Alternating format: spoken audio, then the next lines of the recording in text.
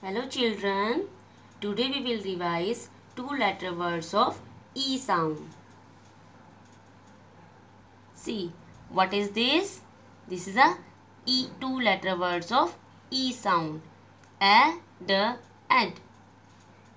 What is this? A, D, and. What is this? This is a two letter words of E sound. A, N, N. Speak again. A, N, N. Now, what is this? This is also two letter words of E sound. Speak a, g, egg. Speak again. A, g, egg. Very good. Today we will do two letter words of E sound. A, t, at. Speak again. A, t, at. Speak again. A, t, at.